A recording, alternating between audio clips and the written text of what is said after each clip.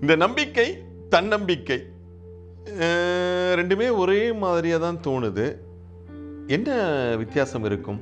நம்பிக்கை பற்றியும் தன்னம்பிக்கை பற்றியும் நிறைய பெரிய பேர் பெரிய பெரிய அறிவாளிகள் பெரிய பெரிய கற்று கைதந்தரும் சொல்லியிருப்பாங்க. அது எல்லாமே ஏற்றுக்கொள்ளக்கூடிய விஷயம் தான். அதில் மாற்று கருத்து ஒன்றுமே கிடையாது. ஆனால் நமக்கு எளிதாக புரிகிற மாதிரி எனக்கு தெரிஞ்ச மாதிரி சொல்லணும் அப்படின்னா நம்பிக்கை தன்னம்பிக்கை. இந்த நம்பிக்கைக்கு முன்னாடி நமக்கு தன்னம்பிக்கை வேணும். இந்த தன்னம்பிக்கைனா என்ன அப்படின்னா ஒரு விஷயத்தை செய்ய போகிறோம் அந்த முதல் படியில் நம்ம இருக்கிறோம். இந்த முதல் படியில் இருக்கும் பொழுது நம்ம நம்பிக்கையாக ஏறி போகலாம். ஆனால் நம்பிக்கையாக ஏறி தொடர்ந்து போகிறதுக்கு நமக்கு தன்னம்பிக்கை தேவை. இந்த தன்னம்பிக்கை எப்போ வரும் எப்படி வரும் அப்படி தெரியுமா? எனக்கு எனக்கு பொறுத்த வரைக்கும் இருக்கக்கூடிய சிம்பிள் ஃபார்முலா இந்த முதல் படி வைக்கிறதுக்கு முன்னாடியே அத்தனை விஷயங்களையும் அலசி ஆராய வேண்டியது நம்முடைய கடமை.